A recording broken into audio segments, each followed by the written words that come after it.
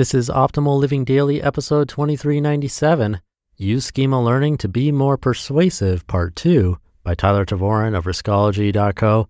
And I'm Justin Malik. Welcome to OLD, where I read articles to you with permission from the authors. But today being a continuation from yesterday, so I recommend listening to yesterday's episode first. That's episode 2396. But if you're all caught up, let's get right to part two and continue optimizing your life. Use Schema Learning to Be More Persuasive, Part 2 by Tyler Tervooren of Riskology.co. How to Best Harness the Power of Schemas, Number 2 Activate Prior Knowledge. Schema learning works best when you're not the one doing the work. For success, make the learner build a connection. To do that, ask lots of questions that activate their existing knowledge so they can build the mental bridge from one to the other. This tactic is not just for teaching, though, it's deadly effective for persuasion. For years, there's been debate raging about global warming and its effect on the planet. According to basically all established science, it's real and it's bad. Yet there's a vocal minority who refuse to accept it and instead try to persuade others to accept their argument. A good example of this is when US Representative Steve Stockman uses the schema of ice melting in water to explain why there's no reason to worry about the sea level rising. The problem, of course, is the schema is wrong. It doesn't reflect reality. But people who follow Representative Stockman and aren't interested in physics probably won't catch that. Now, how do you show someone who uses that argument that their science is wrong? Just explaining it probably won't do the trick. A comedian Jon Stewart from The Daily Show found an effective way. Stewart uses the same schema as Representative Stockman, but he updates it with a critical addition to show how global warming actually works. Everyone has drunk a glass of ice water before, so their existing knowledge is immediately activated, and the demonstration forces you to accept it as the truth. Number three, ask for more examples. When you were a kid, your teachers probably asked you to create your own explanations for how things work. I remember a lesson from high school calculus about calculating the swing of a pendulum.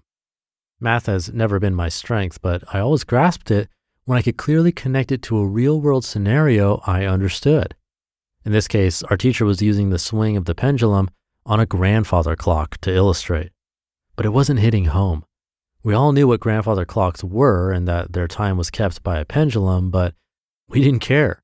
We were 17 year olds and it was the 21st century. Grandfather clocks were irrelevant 100 years ago. The teacher noticed we weren't engaged and asked a smart question Where else does this apply? Someone said construction cranes. Another said playground swings. Not only were we showing our teacher we understood and strengthening our connection to the lesson by coming up with more schemas, we instantly became more engaged because she allowed us to find an application for it that we cared about. Not that swings are that special to me, but they were more interesting than a grandfather clock at the time. If you've ever struggled to communicate something that feels like it should be important, but no one seems to care, there's a lesson here. You're not connecting it to something that matters to your audience. And number four, check for mastery. When I started my first real job in college, I'd taken a class on how to create a construction schedule what contractors to schedule at what times, and when to do which types of work. I thought I understood it. Then I created a schedule for a real project. Sitting down with the superintendent, we mapped out the plan to remodel part of a hospital. Everything was going great. Then, two weeks in, something went wrong and the project came to a grinding halt. I was unprepared and had no idea what to do. I didn't plan for the plan not working. When you're trying to make a message stick, a schema will plant the seed, but what makes the seed grow is when the person it's stuck in can build on it themselves to become a master. Your job isn't really done until you've left someone with the ability to take what you've showed them and turn it into something of their own. This is how ideas not only stick, but grow, and lessons aren't just understood, but embraced. The question is, how do you know when you've reached that level? How to test to be sure? Put it to use in real life. Everything is difficult until you find a practical application for it. You can tell someone has grasped your teaching when they're able to put it to use because there are always complications that come from real world use that you can't account for on paper. Mastery comes when you can solve problems you didn't expect. I couldn't solve our scheduling dilemma because I'd never faced a problem like that before. But these kinds of problems are actually very common in the construction world, and the superintendent knew exactly what to do. You can teach almost anyone the basics of anything, but you'll take your mission further when you give people real problems to solve. That's when you see if everything they've learned can actually be applied. That's when you know the knowledge you've transferred is no longer at risk of being lost. Do this in the next 10 minutes. If you want to teach something, convey an important message, or persuade someone to believe what you believe, schema learning is one of the fastest and most effective ways to do it. Here's a recap of what you should focus on as you incorporate schemas into your own work. Number one, make it personal. Don't assume anyone knows anything. Cater your schemas to knowledge that the person you're teaching already has a good grasp on. Number two, activate prior knowledge.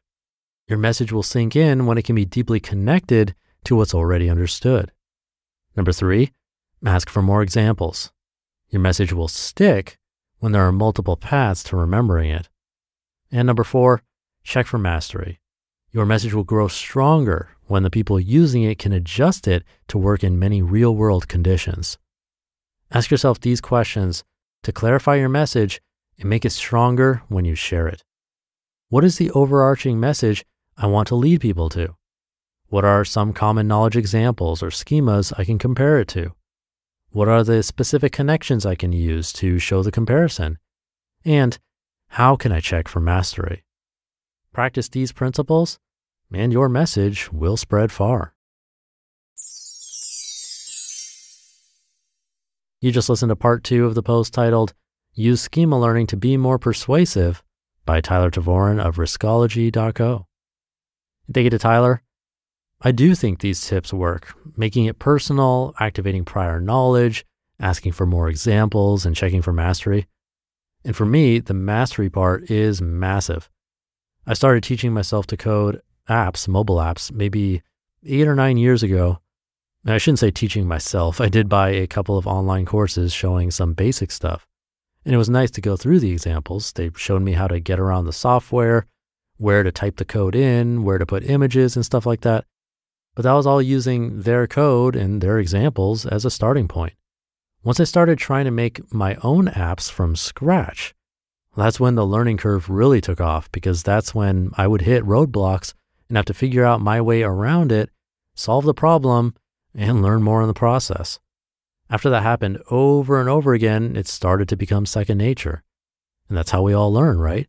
Kids learn to walk by taking a step, falling, or hitting a roadblock, you could say, getting back up, trying again, falling again, and so on. It could be a painful experience, but that's how it goes. But there are little tricks here and there that can help, as we heard in this post. And of course, it'll take a little practice to implement these ideas in our own lives. So even with this, just go one step at a time. So take that step, have a great day, and I'll see you tomorrow where your optimal life awaits.